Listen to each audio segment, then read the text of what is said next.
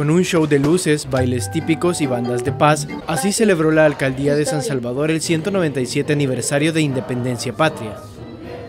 El lugar escogido para la celebración fue la Plaza Masferrer, el punto más alto de la capital y un lugar de fácil acceso para una gran mayoría de capitalinos. Queremos celebrar nuestra independencia e iniciar una, una tradición y escogimos la principal plaza de San Salvador que queda en la zona más alta del municipio, de manera de que el mayor número de capitalinos pudieran disfrutar desde sus lugares estos fuegos artificiales que hemos hecho en conmemoración de la celebración de este 197 aniversario de nuestra independencia.